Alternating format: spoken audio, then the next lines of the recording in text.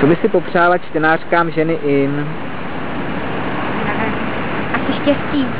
A protože, protože každý mu říká jinak, tak aby to bylo to štěstí, který oni si pojmenovali tak, jak to cítějí.